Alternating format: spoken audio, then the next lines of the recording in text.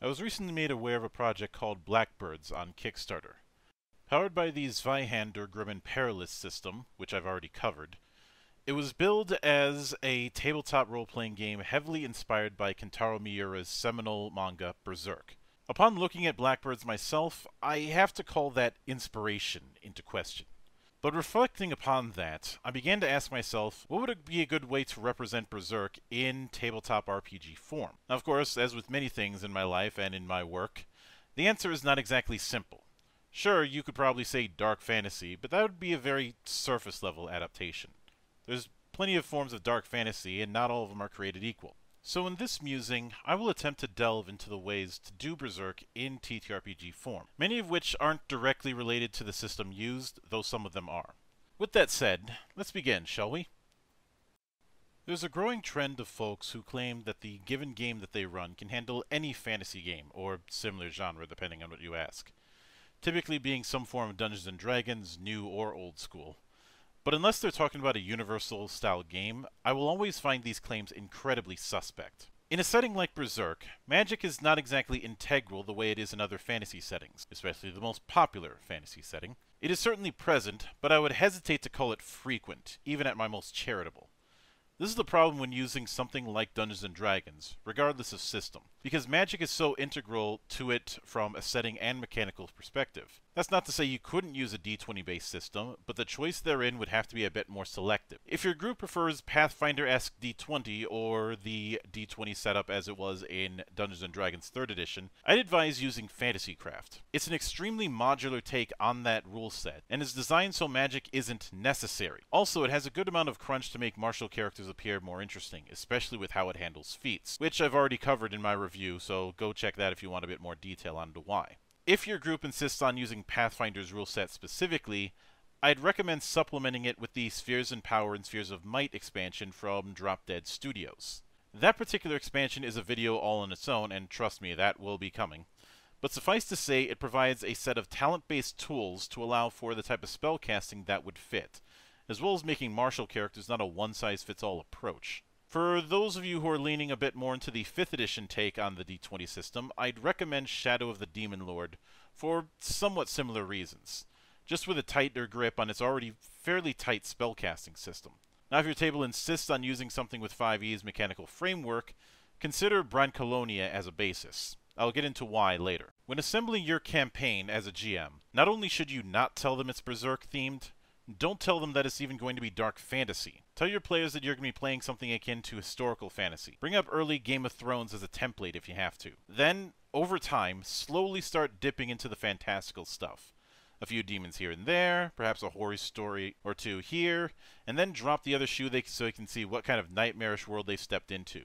In this regard, I think the Golden Age arc provides an effective template. It's also for this reason I'd recommend looking into something like Adventurer Conqueror King's system if you want to build up something similar to the Band of the Hawk in the Golden Age, or the aforementioned Brancalonia, since in that setting the player characters are knaves in a back-to-front version of medieval Italy. That might sound a bit strange given the more German influences of the setting of Midland, but that's something that can easily be amended by a canny GM. Escalation is a natural tool in storytelling, RPGs or otherwise, but I feel that just having characters get more powerful isn't quite enough. In addition to that whole more powerfulness, I think that changes within personalities, goals, and priorities should also occur with time. The best way to do this kind of thing is to take a far more hands-on approach with the players, to transition them into fully realized characters, instead of the murder hobo stereotype that is sadly still relevant even these days. An easy way to get the ball rolling for the GM is to repeatedly ask some variation of why. Not with a direct yes or no answer, but just something to get the ball rolling. There's been a trend for the longest time of making sure encounters are balanced in one form or another. If you're running something Berserk themed, this is something you're going to have to break away from. Encounters should be stacked against the players in one form or another. Both to reinforce the setting and to ensure players can't try and brute force their way out of situations. It's also an effective way to encourage players to use their whole tool set, and the fact that sometimes surviving is as much of a victory as is routing the enemy typically is. Despite so many characters using similar weapons from an equipment list perspective, fights in Berserk are full of more than just basic attacks. In the same vein, I'd recommend either more detailed rules for combat maneuvers, or allow for some sort of stunt rule when it comes to how the player describes their actions, or a little column A and a little column B. Obviously, looking at how action scenes are set up is prime research, but I feel that it's equally important for the GM to devise tactics on his end for the players to react to. If you need a more written bit of advice on this, I recommend a book called Blowing Up the Movies. Written by feng shui creator Robin D. Laws, it's an invaluable tool for looking at film and seeing what you can learn from it from a player and a GM perspective. Berserk is a setting that is not for the faint of heart. It's a terrible, terrible place filled with desperate people who are motivated by all manner of things, willing to do anything to accomplish their goals. This is something that should be made explicitly clear to the players, so that when the shit gets real threshold is crossed, it's not an act of frustration on the GM. I'd probably also advise them to make multiple character sheets if I was running things. You know, one, just in case, and two, it helps fit the passion play of this being a group setup. PCs are no exception to this notion of it being a terrible place to live, and because of that, it's important to hammer home from session zero that they may be just as ruthless in their own ambitions as anyone else. It's a dog eat dog world, and if you don't do whatever it takes, you won't come out ahead. With all that said, I want to put in perspective everything that I've said in the last few minutes towards my issues with Blackbirds presenting itself as Miura inspired. But in order to do so, I need to bring up a small pet peeve of mine. Tangent warning. I've had an issue with certain animators claiming anime as an influence but only referencing things like the bike slide in Akira or the transformation sequence in Sailor Moon. My issue with these references is not their existence, but their intent. It's similar to why people hate all the myriad references seen in a Seltzer and Friedberg movie. They're there not because it fits the story, but for little more than their own sake. Oftentimes they're there to say to the audience, see, we're hip to the modern days too. But more often than not, this betrays a surface level understanding of the anime and or manga that they're referencing, as if they only know the so-called cool parts and little else. I bring this up because I feel it encapsulates the issue I had reading up on Blackbird's Kickstarter page. If this is inspired by Berserk, is done so by the lens of someone who only read the Black Swordsman arc and nothing else. To be honest, I see more Souls-like DNA in this project than I do anything of Berserk, which of course is its own can of worms as somebody who's dabbled in adapting it to tabletop and seen other people do the same.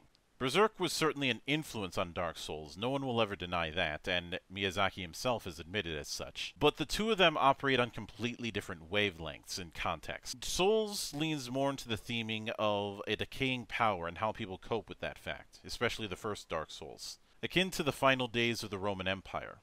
In fact, I wouldn't be surprised if Miyazaki read the decline and fall of the Roman Empire when developing Dark Souls, but obviously I can't confirm that. The key difference here is the understood scale.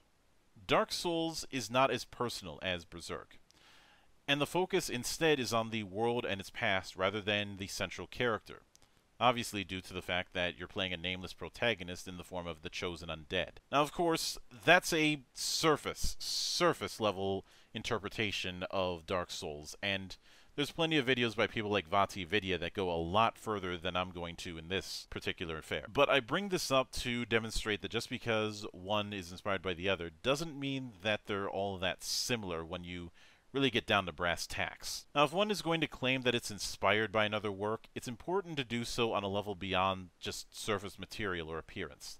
Bringing up a few iconic moments or a similar genre will always come off as, for lack of a better term, a pale imitation. Now, I don't intend to say Black Blackbirds is bad. Obviously, I can't speak on its quality since it's not even finished. But I have personal reasons why I will not support it. However, a heavy part of its advertisement has been about it being a Berserk-inspired TTRPG. And what they're actually presenting does not match that. There's far more to the Black Swordsman than just, by all accounts, a hulking mass of iron. In nomine Christi.